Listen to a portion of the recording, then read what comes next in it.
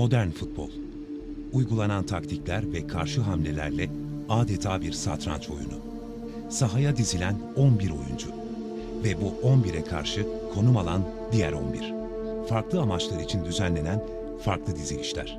Analizlerle yapılan her hamle için karşı hamleler. Stratejik doğruların 11 oyuncuyla peşi sıra uygulanmasıyla elde edilen zaferler.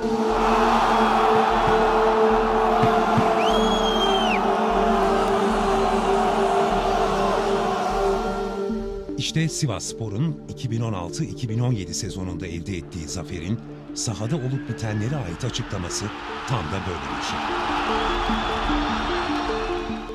Rakipleri elemine etmek için yapılan hamleler, yapılan karşı hamleleri bertaraf için uygulanan akıl dolu taktikler. Süper Lig'e vedanın aslında kısa bir hoşça kaldan ibaret olduğunu kanıtlarcasına sahada ve dışında yapılan doğrular. 2005-2006 sezonunda Spor Toto Süper Lig'e çıkan Medikana Sivas Spor lige veda ediyor taraftarının alkışlarıyla.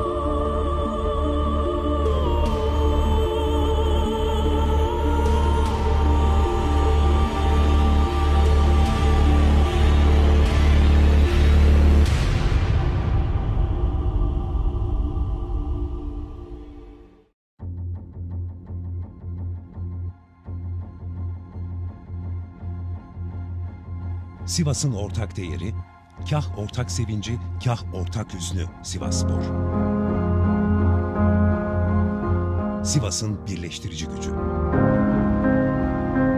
Aynı armasında bulunan üç yıldız gibi. Demirspor sahasında sporcuları Demirspor'u seyrederek büyüdüm. 67'de fabrikaya, 66'da fabrikaya girdim. Fabrikada çalıştım. 67'de Sivas'ın kuruluş tarihi. Üç takımın birleşmesiyle Sivas Spor. Göksündeki armanın üç yıldız olması üç takımın birleşimiyle Sivas Spor meydana gelmiştir. O günden bugüne kadar takibindeyiz, seviyoruz. Efendime söyleyeyim. Maçlarına da gidiyoruz. Pasoligim de cebimde. 70 yaşındayım. Pasoligim cebimde.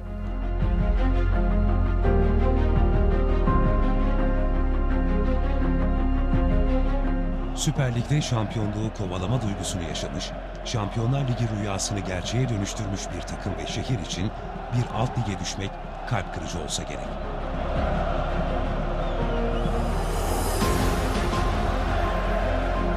Ama düştükten sonra ayağa kalkmayı bilmek de bir o kadar güçlü olduğunun kanıtı.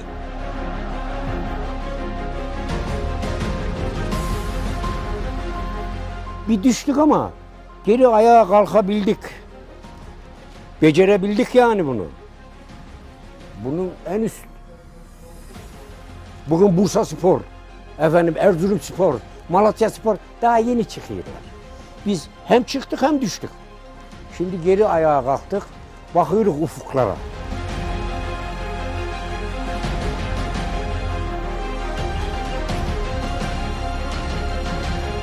TFF 1. Lig'de geçen bir yılın Sivas Spor'a gönül verenler için kısa özeti işte bu. Ve elbette bu aşkın gösteriliş biçimi de adeta takımı bir arada tutan çimento işlevi görüyordu.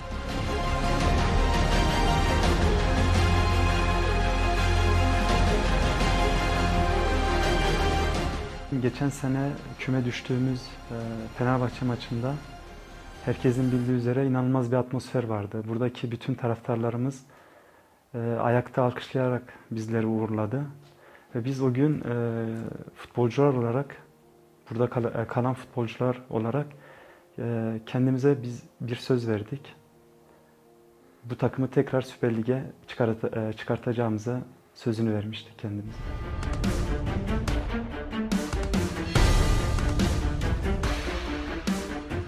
Düştüğümüz son maçımız vardı Fenerbahçe ile. O maçta bizi alkışlayarak uğurladılar. Ya Ben kendi adıma söyleyeyim. Eğer tam tersi bir te- e, şey olsaydı ben TFF 1. Lig'de Sivasspor'da devam etmeyecektim. O maç e, bir 10-12 bine oynamıştık. O maçta bize tepki göstermiş olsaydılar benim buradaki tutumum çok farklı olurdu.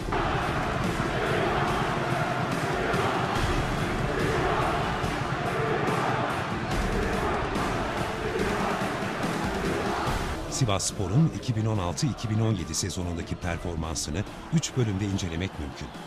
Aslında bahsi geçen bu 3 bölüm kulübün yıl içerisinde çalıştığı teknik direktör sayısından kaynaklanmakta. Öte yandan futbol tarihinde aynı sezon içerisinde 3 farklı teknik direktörle çalışıp şampiyonluğu yakalayabilen kaç takım var? Bu da ilginç bir nokta. Sivas Spor'un Süper Lig'e bağlılığı ve sevdası, teknik direktör değişikliklerinin, mağlubiyetlerin ya da her türlü olumsuz şartın ötesinde olsa gerek. Osman Özköylü ile sezona başlamıştık. Gerçekten e, çok iyi bir hazırlık dönemi geçirip lige e, çok iyi başlayacağımızı düşünerek e, hazırlıklarımızı yapmıştık. Ama beklenen olmadı. Sezonun ilk 5 haftasında Osman Özköylü, takımın teknik patron olarak teslim edildiği isimdi. Tüm sezon boyunca alınan 6 mağlubiyetin 3'ü bu süreçte geldi. Hele ki ilk hafta Bolu'da alınan 4 gollü mağlubiyet futbol otoritelerini çok şaşırtmıştı. Takım 5 haftada sadece 4 puan toplayabilmişti. Ligin 15. e, sırasına demir atmıştık.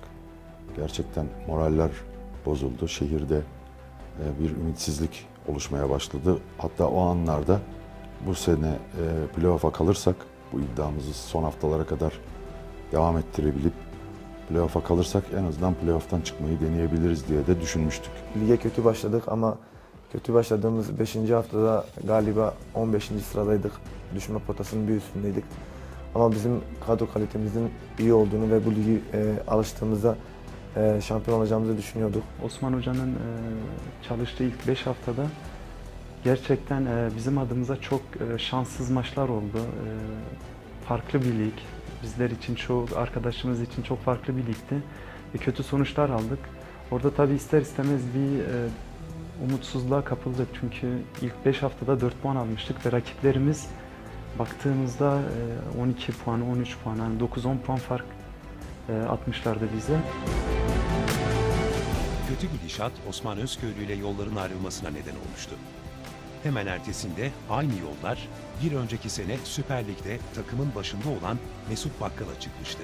Bu hamleyle kötü gidişata dur denilmek isteniyordu. Tedavi, Türk futbolunda örneğine çokça rastladığımız türdendi. başarıyı elde edeceğimiz enerjiyi maalesef kaybettiğimizi görünce Türk futbolunda değişmez kaderidir biliyorsunuz hocalarımızın bir başarısızlık anında en yapılabilecek en pratik tedavinin bir hoca değişikliği olduğu kanaati vardır. E, Gerçekten de öyle. Biraz rahmetli İlhan Cavcav abimizden de bize kalan bir alışkanlık olduğunu söyleyebilirim. Ee, ama biz bu sene bunun meyvasını aldığımızı da söyleyebilirim. Yani bazı şeyler olmuyorsa ısrarcı olmamak lazım. Ziya ortayı yaptı penaltı noktasına. Kafa vuruşu ve gol! Çok gol! Bakkal'la işler yoluna girmeye başlamıştı. İlk yarının sonuna kadar olan 12 maçlık dilimde 7 galibiyet, 4 beraberlik ve sadece bir mağlubiyetle alınan 25 puan Sivas Spor'u zirveye yaklaştırmıştı. Orhan Eşer geriye doğru bıraktı Ergin. Ergin ceza alanında. Ergin ve top ağlarda. Yine de o sadece bir mağlubiyet dahi bundan sonraki işlerin bozulmasına yol açabilirdi ve buna müdahale etmek önemliydi. Tek pas. İbrahim ceza sahası girişinde İbrahim'in vuruşu ve 4-0. Ümraniye maçı bizim için gerçekten kırılma anlarından bir tanesiydi. Ee, uzun süredir bizim takımımız saat 13'te e, maç oynamamıştı. Aslında maçtan önce içimde böyle bir e, korku vardı.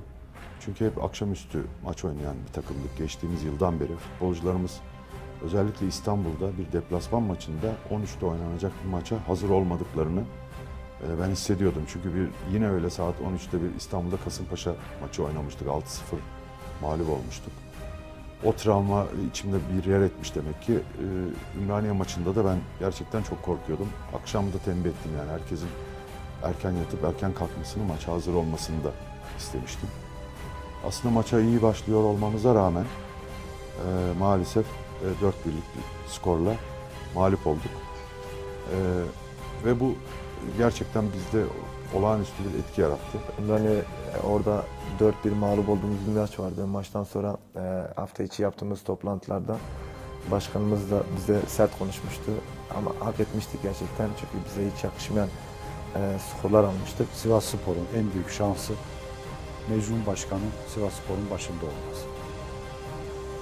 Mesaisinin önemli bir kısmını kulübe harcıyor. İnsan ilişkileri çok iyi. Şehirle ilişkileri çok iyi. Futbolcularla ilişkileri çok iyi. Ve bilgisini, birikimini, tecrübesini Sivas Spor'a ve bu şehre aktarıyor.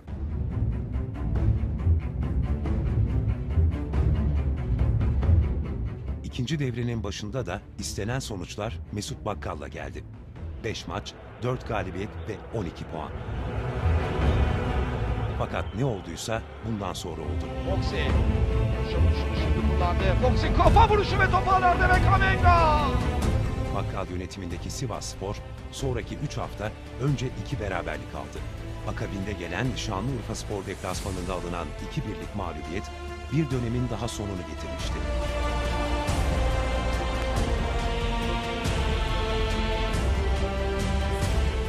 O dönemin adı da Mesut Bakkal'dı. Urfa maçından sonra bir travma yaşadı takımımız maalesef. Kendi içimizde pek dışarıya yansımayan, hoca değişikliğiyle sonuçlanan bir travma yaşadık.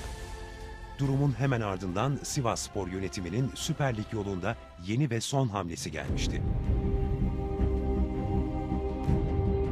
O travmaya karşı yapılan hamlenin adı ise Samet Aybaba'ydı.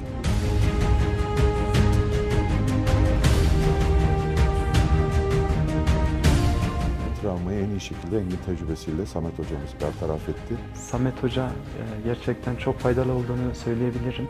Aybaba hamlesi satranç tahtasında rakibi zor durumda bırakan bir hamle gibi etki yarattı Sivas Spor'da. Son 9 maçta 5 galibiyet ve 4 beraberlikle elde edilen 19 puan. Şimdi orta içeriye doğru kontrolü Leandrinho ve gol! Leandrinho ve gol! Öyle ki bu 19 puanın 16'sı son maça gelmeden Süper Lig'i garantilemiş bir takım var etti.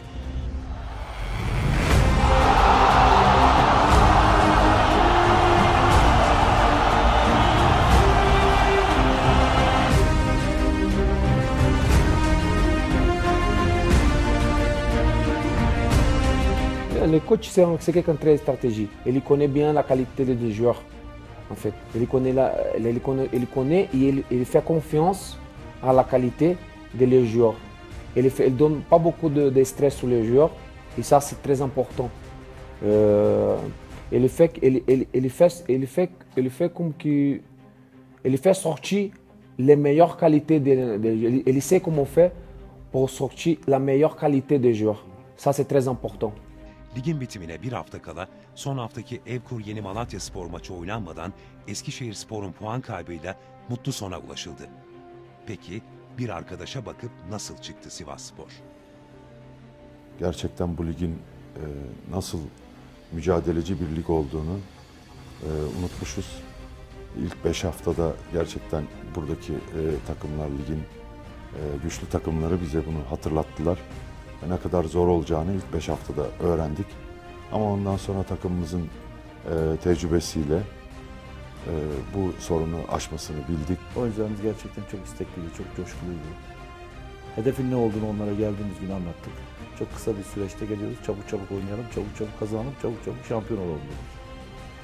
Onlar da gerçekten bu isteklerimize, düşüncelerimize, saha içindeki kurguladığımız her şeye doğru cevap verdiler. Ve mutlu sona böyle ulaştık.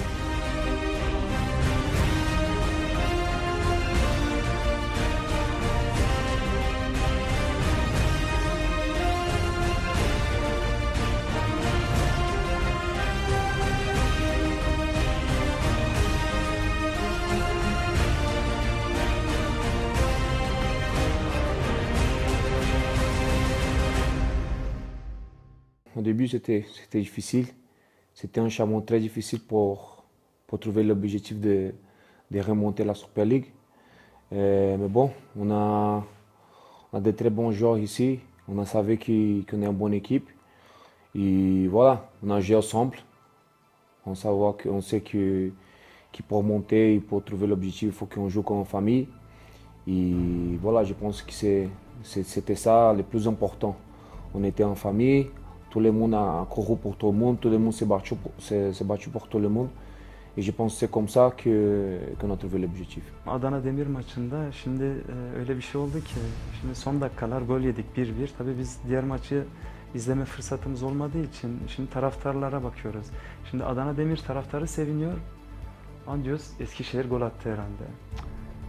Bir 10 saniye geçiyor bizim taraftarlarımız sevinmeye başlıyor. Yok diyoruz tamam diyoruz. Şey daha her şey ortada. Hakeme soruyoruz hocam bir bilginiz var mı? Maç kaç kaç diğer tarafta? Tabii o e, sağ komiserine sağ olsun sorusu o da sordu dedi ki işte ya bir herhangi bir değişiklik olursa e, yani söylersin bizlere diye. Yani inanın o 3-5 dakika anlamadık nasıl geçtiğini yani. Bir hocamıza bakıyoruz hocamız diyor yok diyor devam edin diyor oynamaya devam edin diyor her şey ortada hala yani hiçbir şey bitmiş değil. Sonra biraz bir iki pas yapıyoruz sonra topu bırakıp tekrar yedek kulübesine bakıyoruz. Acaba ne oldu diyoruz ne var durum ne? O ara taraftarımız seviniyor. Ama diyoruz tamam rahatlıyoruz diyoruz tamam herhalde maç bitti. Tekrar hocamıza bakıyoruz. Hocamız yok diyor oynamaya devam edin. Yani öyle bir 3-5 dakika var ki e, futbol hayatında gerçekten unutamam. Ama sonun, sonunda çok şükür ki bizler için çok güzel bir Maç bitiyor. Eskişehir'den gelecek haberi bekliyoruz şimdi. Adana Demirspor Şanlıurfa Spor'un üzerinde 2 puanlık bir avantajla son haftaya girecek. Ve artık Eskişehir'den gelen haber bitiyor. Sivas Spor, Spor Toto Süper Lig'de.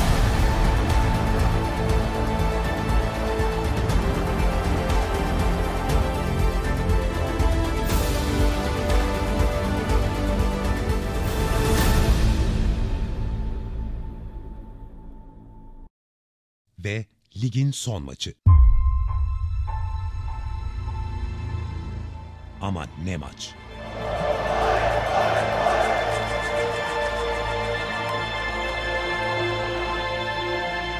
Her ikisi de Süper Ligi garantilemiş iki takımın şampiyonluk maçı.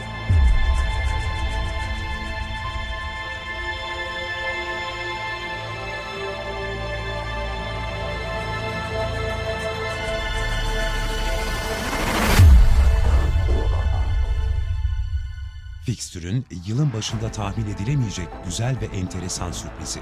Sivas Spor, Malatya Spor.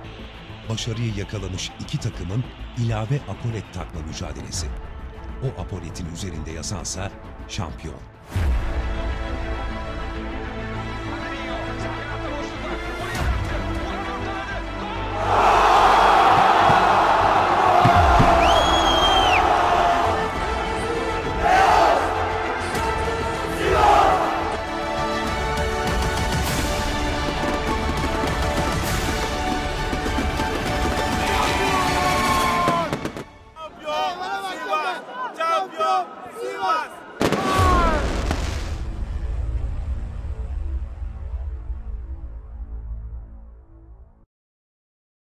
Peki ya bir arkadaşa bakıp çıkacağız diyerek oyuna başlayan, hamlelerini buna göre planlayan Sivas Spor'un itici gücü taraftarı.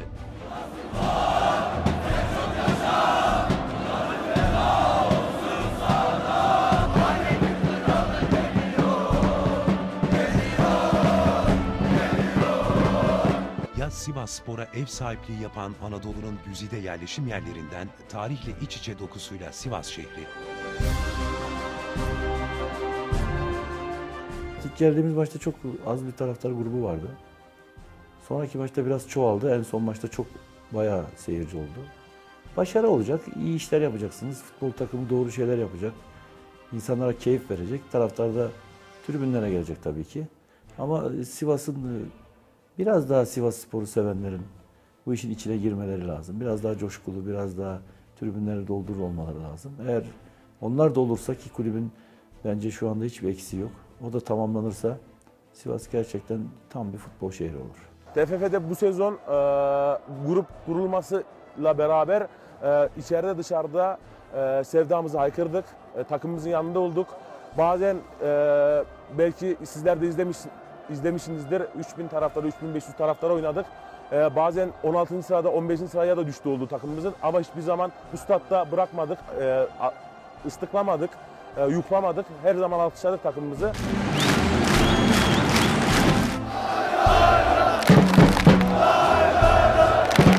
şehrin beklediği bir e, başarıydı, sonuçtu. Sonuç itibariyle Sivas şehir olarak Süper Lig'de olmayı hak eden şehirlerden biri. Ve geçmişte de uzun yıllar Süper Lig'de oldu. Böyle olunca da hasbelkader geçen yıl düşünce hem şehirde hem futbolcularda hem futbol kamuoyunda bir hayal kırıklığı e, yarattı. Şimdi çıkması aslında Sivas'ın hakkının teslim edilmesi anlamına geliyor. Bu açıdan çok mutluyuz. Sivaslıların yüzü gülüyor. E, Şehrin yüzü gülüyor. Sivas'ta futbol adına olumsuz diyebileceğimiz hiçbir gelişmeyi e, Sivas Spor taraftarı yaşatmadı. Ben inanıyorum ki bu sezonda tekrar Süper Lig'e renk getiren, kalite getiren e, bir futbolu Sivas Spor olarak sergileyeceğiz. Şampiyon Sivas Spor. Satışlarımız bayağı arttı. Süper Lig çok iyi oldu diyebilirim yani. Bayağı bayağı arttı. Hem de hiçbir şeyimiz kalmadı diyebilirim yani şu anda. Taraftarımız geçtiğimiz yıl e, TFF birincilikle düşmemizle birlikte büyük bir hayal kırıklığı yaşadı. Biraz da sanıyorum bir küskünlük oldu aramızda. E, yeni stadımıza geçmiş olmamıza rağmen pek fazla rağbet etmediler. Yaklaşık 3000-3500 gibi bir taraftar kitlesini oynadık. Aslında bu, bu lige baktığınız zaman e, düşük sayılacak bir taraftar kitlesi değil ama bizim arzu ettiğimiz ve alıştığımız kitleden çok uzak kaldık. Fakat daha sonra takımımızın e, oyunu, e, tekrar e, mücadeleci futbolu ve e, liderliğe oynayışımız e, tekrar taraftarımızı tribünlere çekti. Sivas halkı destekliyor. Desteklerini yalnız fakir zümre Sivas halkı. Alt tabaka. Üst tabakalardan fazla bir yardım yapan yoktur. İstanbul'da 7 milyon kişimiz var. Bir tanesi yardım etmiyor. Tahminimize göre, gördüğümüze göre. Yani gözümüz kapalı diyor, görüyoruz, bakıyoruz. İstanbul'da bir gece yapıyorlar mesela. gece bir az, az bir miktarda yardım ulaşabiliyor Sivas'a. Gerisi arkadaş cebinin harçlığını e, şeye götürüyor. Efendime söyleyeyim. Patolige veriyor. Efendim maça veriyor. Efendim Sivas Spor seviyor. Sivas seviyor Sivas Spor'u. Yalnız yetersiz. Daha çok sevmesi lazım. Sivas Spor taraftarında gerçekten bir düzelme var. Ben çünkü 15 yaşından beri ben Sivas Spor taraftarıyım. Bugün 65 yaşındayım. Ama gerçekten düzelme var. Yalnız bu Sivas'a da sahip çıkılması gerekiyor. Bürokratlarımız olsun, e, yani onlardan biz, biz Sivas Spor'u galip getirsinler diye bir beklentimiz yoktur. Biz maçımızı oynayalım, oyunumuza kazanalım. Hükümet konağına, valiliğe, Sivas Spor'un bayraklarını bir Sivas Spor şampiyon olmadan önce astık. Biz Sivaslı'nın düşündüğü, hissettiği olayları, duyguları tercüme olmak durumundayız. O açıdan da Sivaslı evine bayrak asıyorsa bizim de valiliğe bayrak asmamız gerekiyor. Sivaslı'da aynı hassasiyeti göstermek için bayrakları astık.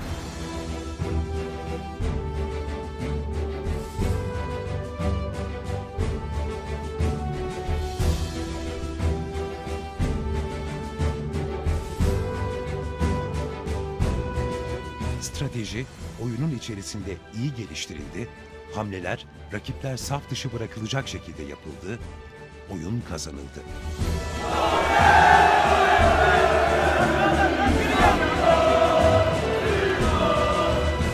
Ama bu bir son mu yoksa yeni bir oyunun başlangıcı mı? Yeni ve daha önemli bir oyunun başlangıcı mı? Süper Lig'de şampiyon olacağız. Hiç yolu yok bunu. Biz bunu bir kere, biz bunu bir kere ucunu getirdik o safhaya. Birinci dönemde. Bu ikinci dönem. İkinci dönemde de olamazsak, bir daha çıkarsak, girer çıkarsak yani düşer çıkarsak bu sefer şampiyonuz abi. Dört tane büyüye talim ediyoruz abi. Dört tane. Fenerbahçe, Galatasaray, Beşiktaş, Trabzonspor. Başka var mı kardeş? Kolay değil bu iş. Zor Süper Lig'de bir takım şeyleri doğru yapabilmek. Ekonomi çok biliyorsunuz sıkıntı yaratıyor. Doğru kullanmak, oyuncu tercihleri. İklimi de biraz sert buranın biliyorsunuz. O nedenle o sisteme uygun, o iklime uygun yapıları değişik, biraz daha iç- içine dönük, saygılı, işe saygılı oyuncu tipleri bulmak lazım. Eğer bulursa Sivas Spor zaten uzun yıllar bu ligin takımı olarak devam eder. Sivas Spor takımının e, hedefleri tabii ki öncelikle kalıcı olmak ve e, daha sonra tabii ki Avrupa kupaları. Çünkü e, söylediğim gibi bu kulüp bunu hak ediyor. Her şeyi hak ediyor. Sivas Spor gibi bir camianın Avrupa hedefi olması gerekiyor yani. Çünkü e, dediğim gibi gerçekten çok köklü bir camia. Sivas sporumuzu seviyoruz. Yaşlımızdan çocuğuna kadar seviyoruz. Bugün 70 yaşında, 60 yaşında maç seyredenlerimiz var. Efendim mesela. Paso Ligi cebinde olanlarımız var. İstersen çıkardayım diyeceğim ya evde kaldı cüzdanımın içinde. He.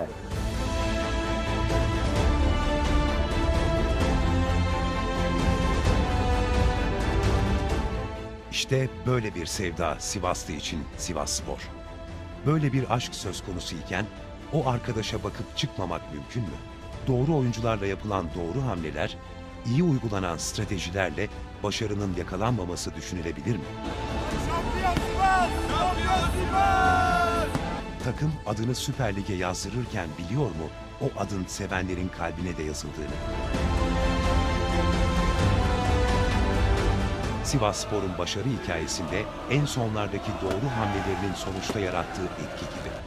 Rakipleri geride bırakan ve oyun alanında son noktayı koyan hamle gibi. Şah ve mat.